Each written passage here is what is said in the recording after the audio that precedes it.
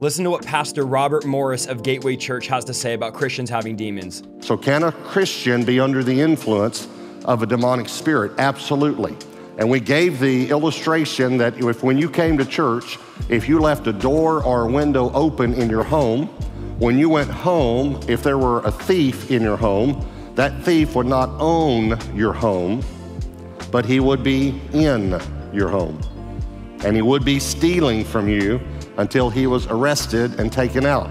We also gave the illustration that if a, if a man took drugs or alcohol into his body, uh, even if he's a Christian man, see that doesn't seem that doesn't make any difference whether he's a Christian or non-Christian.